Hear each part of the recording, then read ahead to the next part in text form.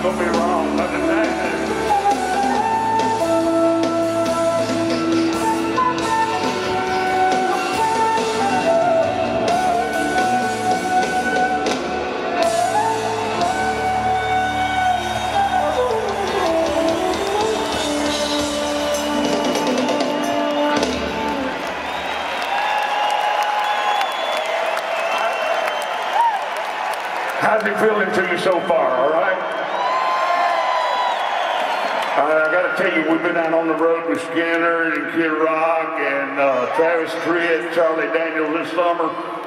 There's nothing more special than this last night that we're playing with Skynyrd for until next year, all right? It's always good. I hope y'all having a good time. Every one of our other shows have done great. It's good to be back. Y'all know I, I live and my girlfriend is from New Jersey, so I got to be respectful, right? And the security agreed with me, right?